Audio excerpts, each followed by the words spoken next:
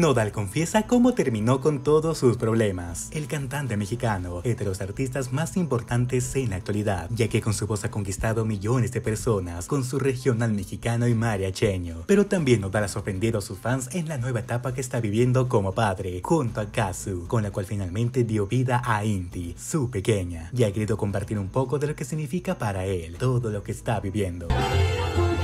Happy